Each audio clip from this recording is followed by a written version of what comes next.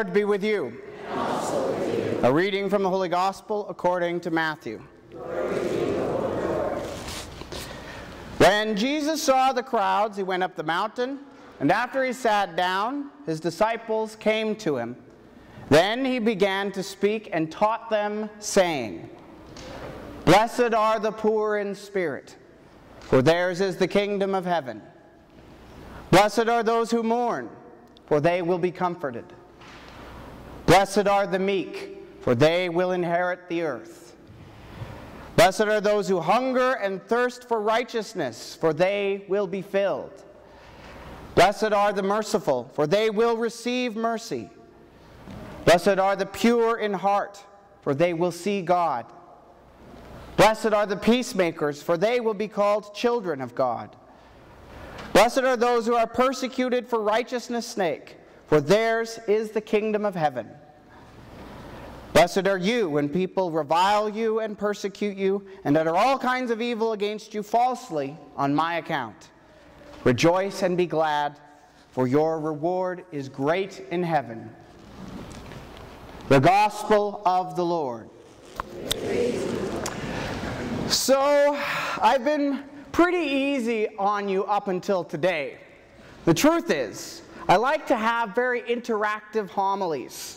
I don't consider myself to be a terribly interesting person. I'm much more interested in what you have to say. But I realize that you folks might not be used to this style of preaching, so I'm going to ease you gently into it here today so that in the future you'll be more ready for it, okay? So today, for All Saints' Day, we're going to play a little game, okay? We're going to see how well you know your saints. I'll describe a saint, and if you know the answer, just shout it out. It's okay, it's not disrespectful to shout out the name of a saint in church. Trust me, I trek with God and everything before church, okay?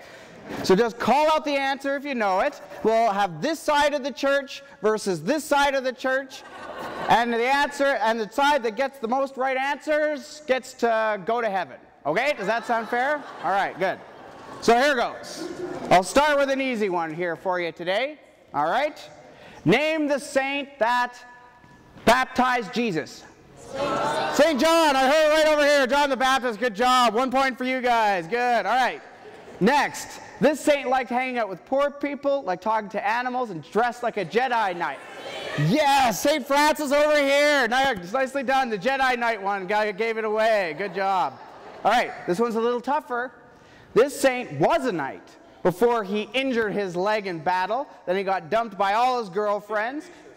Oh, nicely done. She got it already. As soon as it said dumped by his girlfriends, he knew it was St. Ignatius. That's right. St. Ignatius of Loyola, I was about to say, and then founded the Jesuit order. Good job, Ignatius of Loyola. Good. This saint dressed like a knight even though she was a girl and was eventually burned at the stake. I heard it over there first. I like your enthusiasm though. Good enthusiasm. I heard it over there first though. So, so far it's I think three or four to one over here. Must be getting warm on this side of the church, I'm guessing, eh? All right, next. This saint was a bishop that liked giving poor children stockings with presents in them. Ah, St. Nicholas also would have accepted Santa Claus. Oh, you guys are going to need suntan lotion if you keep this up, man. Let me tell you. All right. This saint got his head cut off by Henry VIII. A dog. Not, not a dog. Oh, I heard it over here again. St. Thomas More. They was there first. This saint got his head cut off by Nero Caesar and wrote over half of the New Testament. Nice, St. Paul. Paul answered it correctly. Good job, Paul. All right, nicely done. That was St. Paul. All right. This saint saw Mary appear to her at Lourdes in France. Bernadette over here, you get that one. Nicely done. Good stuff. And I was about to say, and they made a movie about her called The Song of Bernadette. Good job. All right. This saint allows us to drink green beer every year right in the middle of Lent. Everybody knew that one. Go figure. What good Catholics. All right. The next one. Who is Our Lady of Lourdes? Mary. Mary. Nicely done. Who is Our Lady of Fatima? Mary. All right. Who is Our Lady of Guadalupe? Mary. Who is Our Lady of Good Counsel? Mary. Who is? Mary sure gets around, doesn't she, eh? All right. All right, here's a different one. Which saint died in a Nazi concentration camp? Maximilian Kolbe, Nicely done. Over here and here. Nicely done. Good job. Good job. All right. Which saint was an archangel, mighty warrior, kicked the devil out of heaven, incredibly strong and incredibly good looking? Saint Michael. That's right. Saint Michael. Good job. All right. This one's a tough one. See how well you know your local saints. Which saint taught school to young girls? No. Founded the, good, good guess, founded the Ursulines of Jesus and looked like this.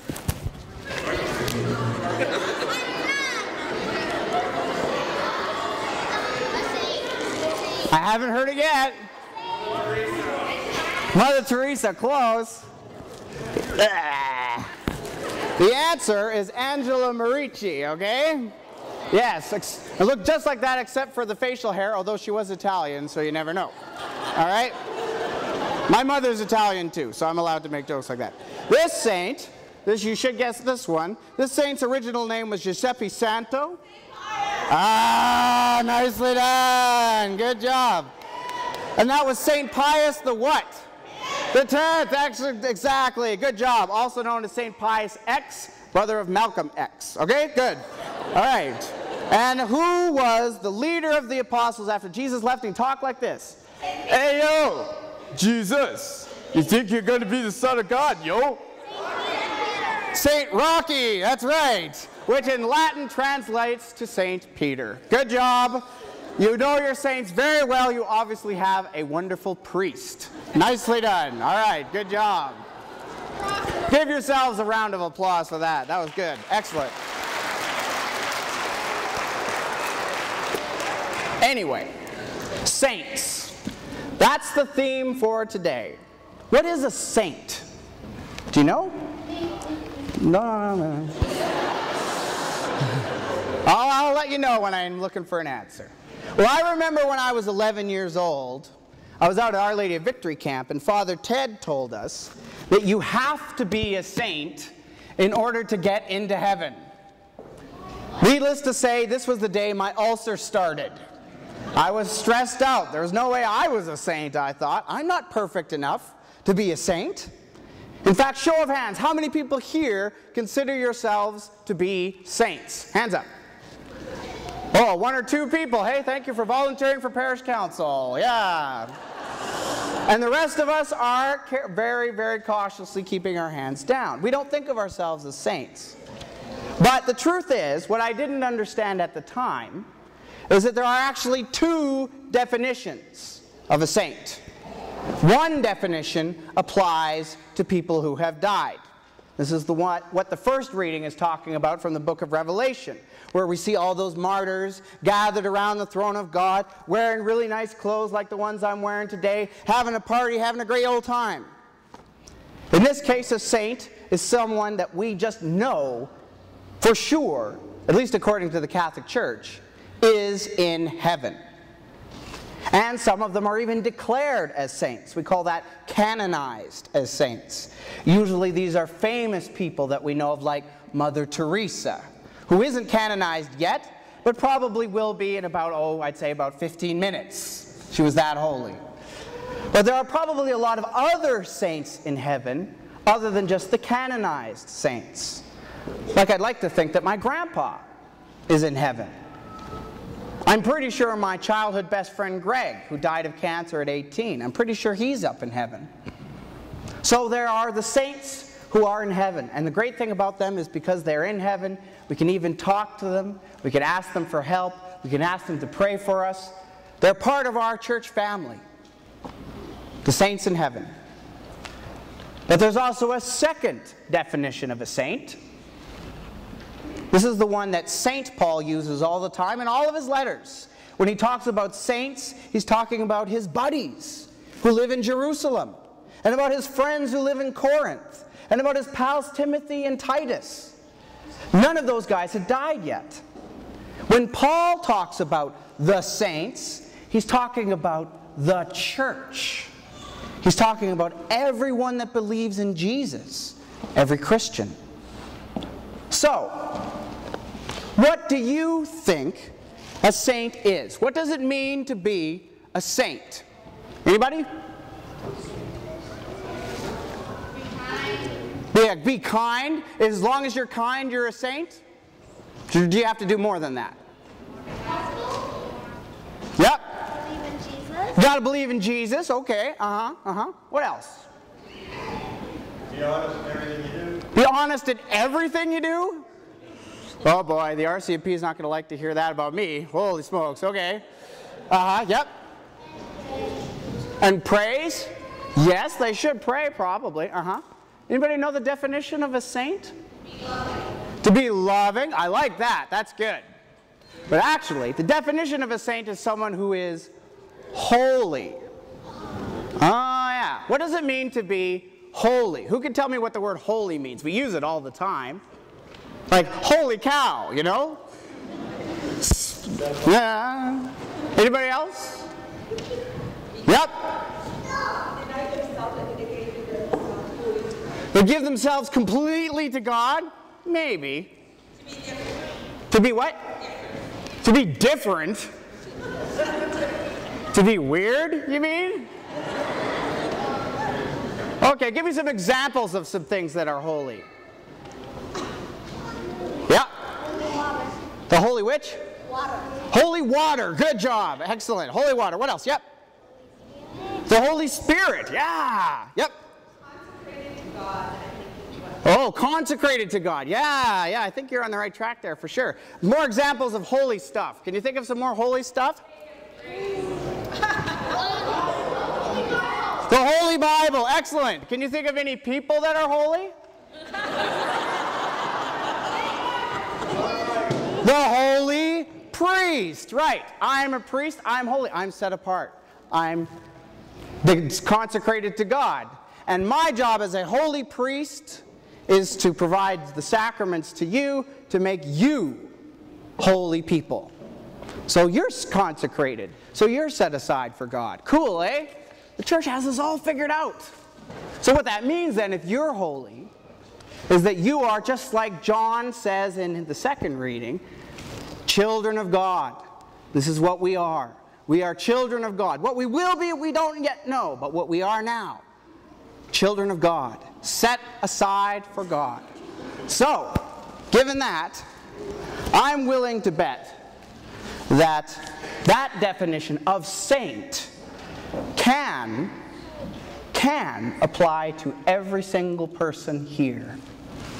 Cool, eh? Jesus, he gives us some examples of saints in today's gospel. You recognize today's gospel? What was today's gospel called? The Beatitudes. The very beginning of the Sermon of Mount. The great Beatitudes, which are so beautiful and so powerful.